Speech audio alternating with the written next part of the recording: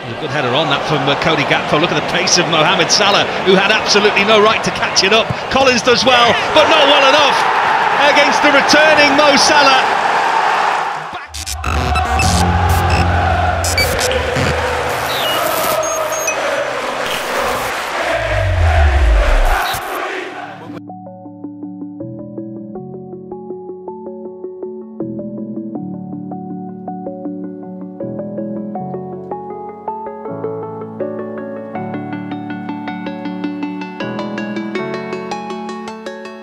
Liverpool meraih kemenangan 4-1 atas Brentford pada laga pekan ke-25 Liga Inggris di Stadion Gitek Community.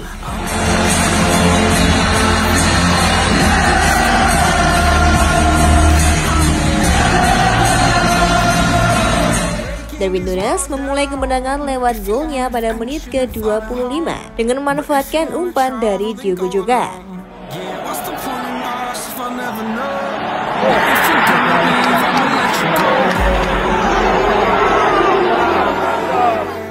Muhammad Salah yang baru kembali dari cedera langsung menyumbang gol pada menit ke-68. Sang pemain masuk sebagai cadangan untuk mengisi posisi Jota yang mengalami cedera di tengah laga.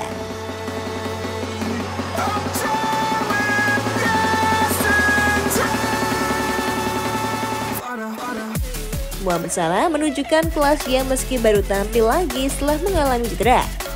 Liverpool benar-benar bernafsu untuk menang dan Muhammad Salah kali ini bertindak sebagai pencetak gol bagi The Reds.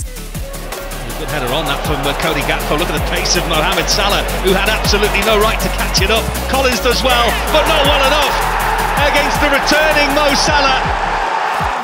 Kali ini pemain asal Mesir itu menghukum kesalahan lini belakang Brentford yang membiarkannya menyerang secara luasa.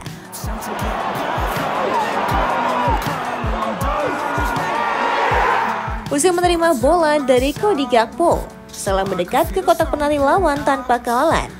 Pemain Brentford sempat berhasil mengejar laju cepat salah dan memojokkannya, tetapi sang pemain lebih cerdik dengan mampu mencetak gol dalam kondisi yang tidak seimbang.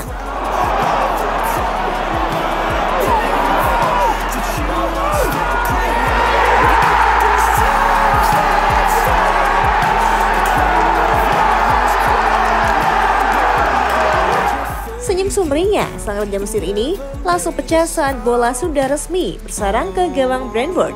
Penonton dan staf ofisial juga menyambut antusias gol dari The Egyptian King ini. Salah back with his usual bang. First we've seen of him since New Year's Day. Dengan selebrasi golnya Mo Salah membawa angin segar bagi pasukan jaga gol. Pasalnya mereka sempat diperkuat sang pemain karena cedera dan harus membela timnas Mesir.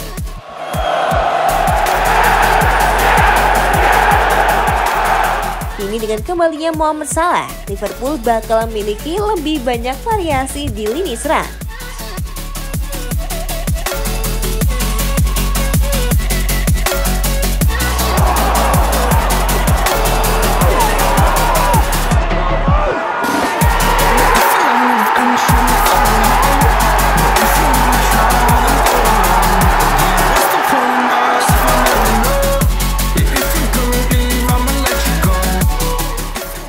Video terbaru kami, jangan lupa untuk subscribe dan tekan tombol notifikasinya ya.